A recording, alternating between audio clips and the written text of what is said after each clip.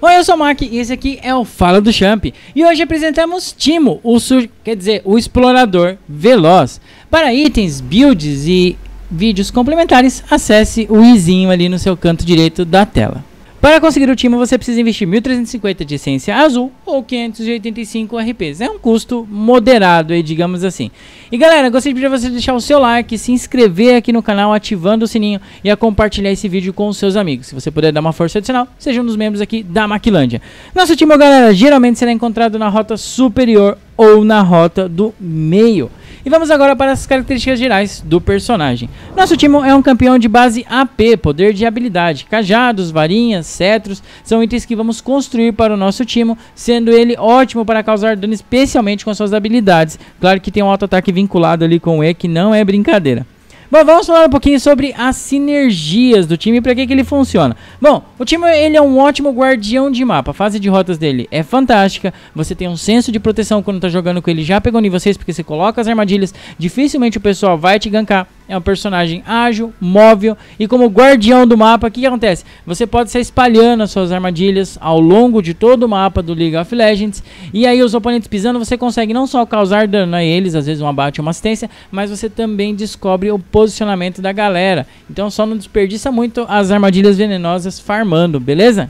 O Timo ele será especialmente útil junto com a Cassiopeia. O poder de iniciação, o dano da Cassiopeia são muito ok e funcionam legal com o Timo. Mas o melhor de tudo é a passiva da Cassiopeia que ela tem vantagem contra alvos envenenados e o Timo envenena. Então é uma duplinha ali dinâmica.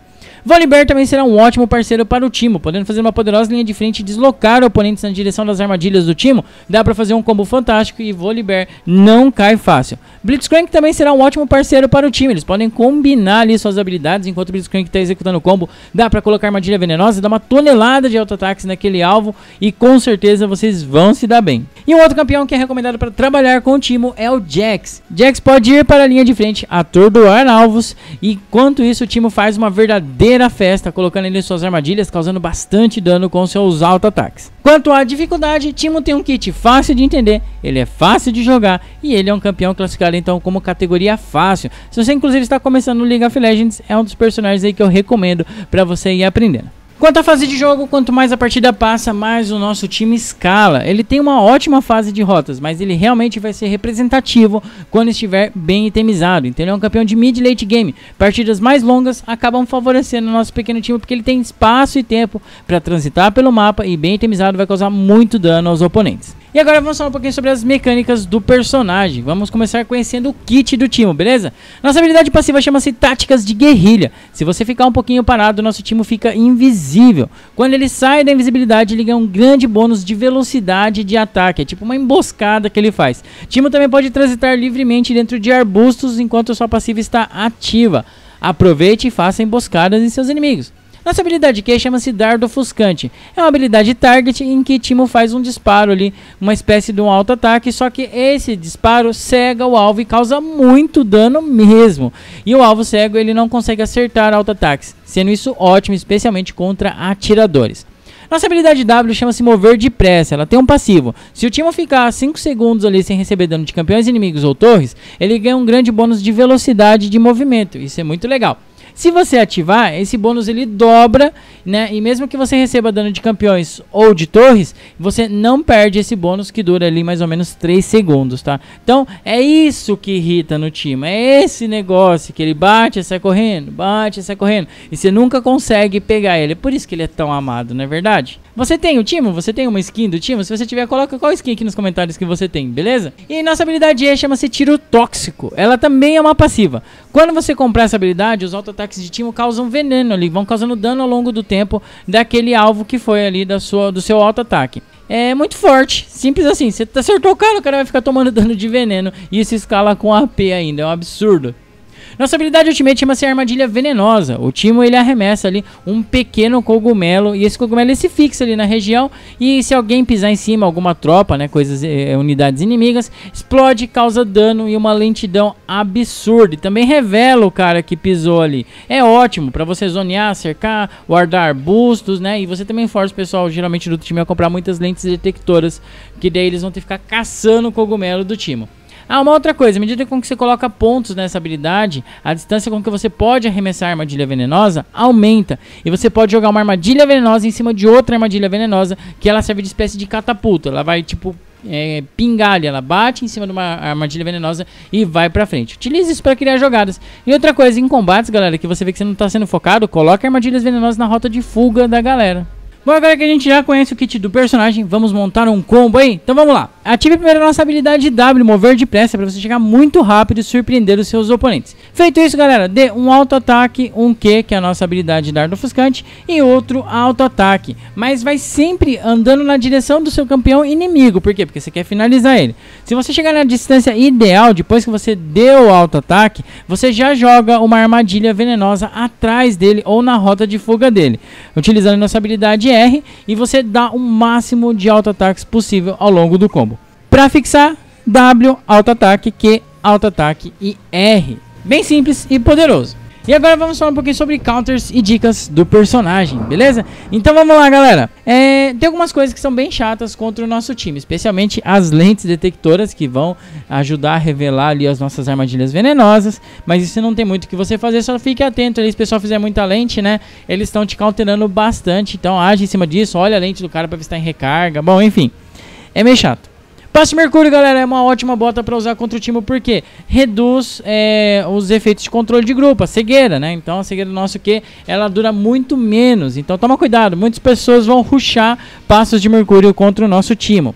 Personagens de investida, Gap Closer, né? Aqueles que são target, chegam em você, também são muito poderosos contra o nosso time. Qual que é a manha do time? É sempre bater, fugir, se esconder e assim você vai jogando. Só que personagens que conseguem chegar em você, como por exemplo uma Vai com a ultimate dela, ou um Nocturne, são um grande problema mesmo. Mas lembre-se né, que nossa habilidade aqui em situações desesperadoras vai cegar aquele alvo por um pequeno intervalo de tempo. E para finalizar, né, coisas que temos que tomar cuidado são os hard CC. Os grandes controles de grupo acabam com o time porque ele é muito frágil mesmo. Uma boa Leona, uma boa Morgana vão te dar muita dor de cabeça mesmo. Então toma cuidado e considere trazer no seu build ali um véu da Banshee ou uma cimitarra mercurial para te salvar de situações complicadas. A cimitarra mercurial, né, ou é, a bandana de mercúrio, é mais aí especialmente contra o Warwick e o Malzahar. Tá? Os demais você pode estar trazendo um véu aí que vai ajudar bastante. E já na questão de counters, nosso time é uma ótima escolha contra Darius. Apesar do Darius ter a, nossa, ter a habilidade de aprender, né? Que é aquela puxada que ele dá ali com o machado, isso ser bem poderoso, bem chato contra o nosso time. Fique longe do alcance, vai pokeando, dando auto-ataques, utiliza o W ali para fugir, coloca veneno, não deixa o cara ficar com muita vida não. Você não pode tomar o Q dele, porque o Q dele vai fazer ele recuperar muito HP. Então, é assim, utilize essa tática, o kite. Bate, corre, bate, corre. E com certeza você vai ter uma ótima fase de rotas e vai tiltar muito Darius por aí. Timo também é uma ótima escolha contra Nasus. Só que você tem que tomar cuidado, porque se o Nasus crescer lá no mid late game, você já não é, representa tanto perigo, não. Então tem que chegar causando os primeiros níveis, tacar ele embaixo da torre, dificultar de todas as maneiras, levar a torre e levar o jogo o mais rápido possível.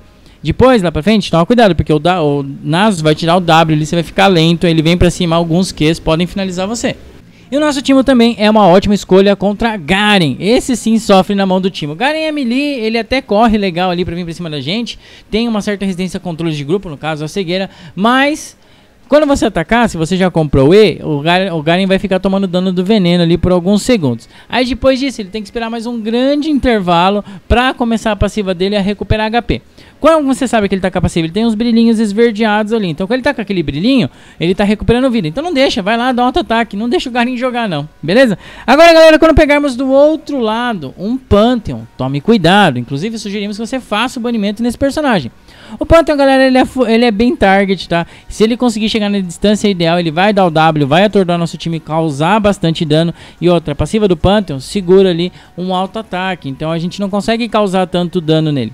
Só que assim, o Panto é muito early game, galera. O começo do jogo dele é fantástico, é poderosíssimo. Mas se ele não fizer grandes coisas na fase de rotas, lá no mid late game ele tá muito enrascado. Então, o que, que eu recomendo? Joga um pouquinho mais na defensiva, sempre tira a passiva dele, dá uma pokeada, foge, não deixe ele acertar o W em você. Ou se não tem como ele não acertar o W em você, que seja numa região em que você está próximo da torre ou próximo de tropas, pelo menos, para ajudar você a virar a luta em cima dele. Um segundo personagem que temos que tomar cuidado é a Kali. A Kali causa muito dano, as habilidades dela são poderosíssimas. Ela pode finalizar nosso time com grande velocidade. E como eu falei, é um personagem investido, um personagem que chega em você.